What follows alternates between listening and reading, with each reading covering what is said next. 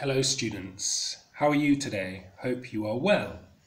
It's Giles here and today we're going to talk about simple machines or tools.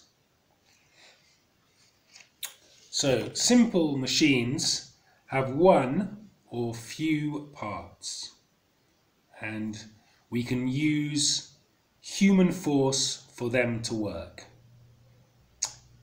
Here's an example of some simple machines. We have a hammer. We use a hammer to hammer a nail. Here's a rolling pin.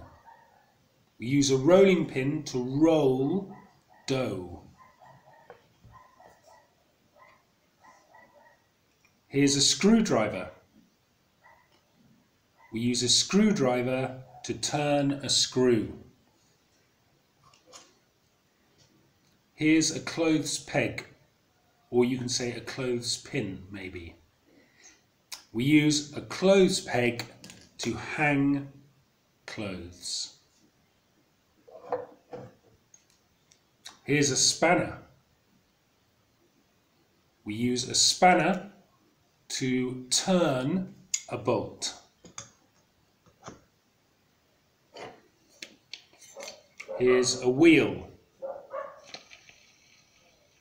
We use a wheel for various things, such as to turn a motor or for a bicycle. And here is a pair of scissors. We use a pair of scissors to cut paper. So we're going to have a look at that vocabulary. We're going to look at how to spell the words and how to pronounce them and their uses. Okay, come on, let's go.